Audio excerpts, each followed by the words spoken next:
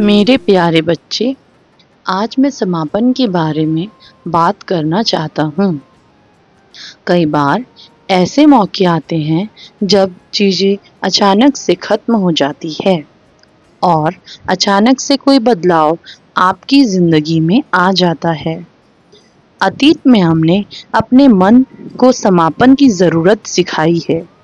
यह समापन आपसी सहमति से हो सकता है। या बिल्कुल भी नहीं हो सकता है। लेकिन समझिए कि यह ज़रूरत भी आपके मन की एक इच्छा है। इसके बिना भी आप पूर्ण और स्वस्थ हैं। समापन या किसी से स्वीकृति पाने की तलाश में अपने कीमती पल बर्बाद ना करें। आपने अपनी क्षमता के अनुसार जो कर सकते थे, वह किया। और मैं यह जानता हूँ आज आइए कृष्ण और उनकी खूबसूरत मुस्कान को याद करें। यह आपका मूड अच्छा कर देगी।